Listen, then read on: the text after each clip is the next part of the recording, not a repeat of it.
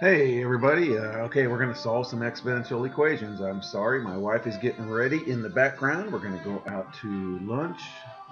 So I kind of dig this music anyway, so I hope it doesn't distract you that much. I, I love it. So anyway, uh, uh, let's see. So here we go. Let's go. Our um, uh, our question is: Are what are some ways to solve the equations? Um, and notice this has to be greater than zero. Okay and it can't be 1, okay, so it won't be 1, okay, so solving exponential equations, a times b to the x equals c, and we do this doing logarithm stuff, okay, so solve exponential equations, so let's solve each equation and we'll give the exact solution, which um, uh, some textbook some textbooks call it uh, calculator ready solutions and uh, and then we plug it in the calculator to give us um, a uh, decimal solution. Okay, so here we go.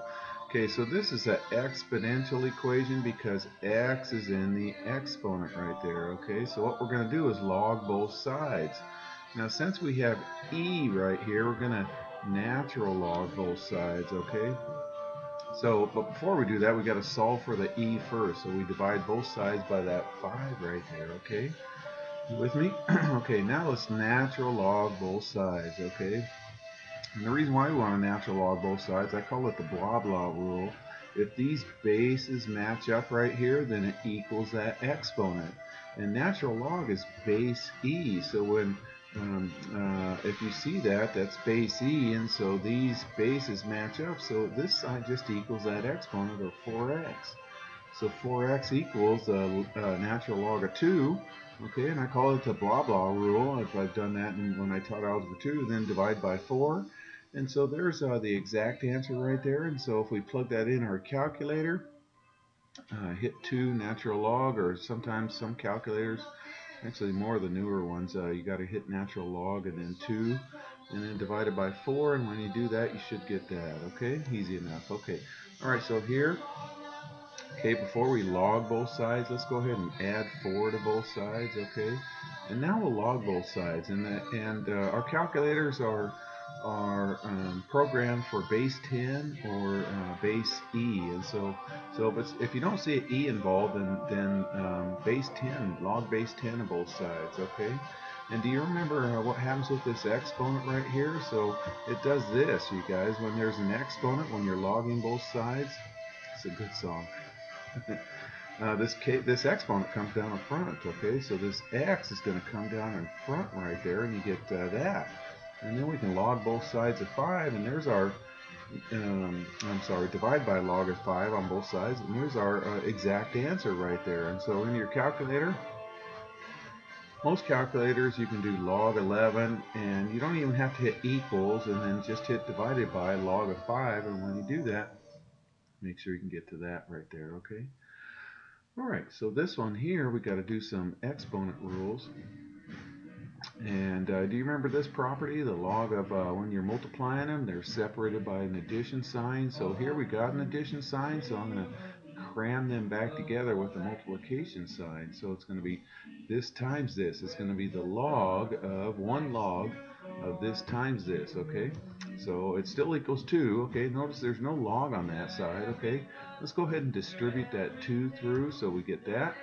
Okay, and then uh, remember this is base 10 right here. So so this base to this power equals that 2x squared. Okay, so this base to this power equals this. Okay, IFF means if and only if. So b to the c equals a, b to the c equals a. Okay, so this is base 10. I think I put a base 10 in there. I did. So 10 to the 2 equals that. Okay, all right, and then so 10 squared is 100, and then I just flipped it around the equal sign. Notice these are all divisible by 2, so I like smaller numbers, so and it's a quadratic equation, so we want it to equal 0. So if we divide by 2 and set it equal to 0, and then we factor factors of negative 50 are negative 10 and positive 5. So we factor that and then we set those factors equal to 0 right there. Okay, so then we get uh, x equals 10 or x equals 5. Okay, now remember this can't be um, a negative number right there. Okay, so the definition is of logs is we're taking the logs of a positive number. So we got to get rid of that negative 5 and so x equals 10. All right. Okay. How about this guy? Okay. Let's first uh, divide by three. We get uh, we get one. Remember, anything to the zero power equals one. So um, so uh, so if if this equals 1, then this must be 0. Okay, so so 8x equals 0, and so that just means x equals 0 right there. Okay, anything to the 0 equals 1. All right, this one says log, log um, or solve by using log base 2. Okay, so let's log base 2 of both sides. All right, and then we're going to use the blah blah rule. Okay, if these numbers match up, do you see these numbers matching up? It equals that exponent. So this is going to equal just x minus 3 right there, okay? Plus 3 to both sides. There's our exact answer. And then um, uh, use your change of base formula. We like using base 10, so it's going to be the log of 85 over the log of 2, okay?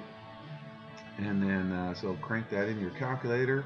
Uh, log of 85 divided by log of 2 is about that, and then add 3 to that, so our decimal answer is going to be about 9.409.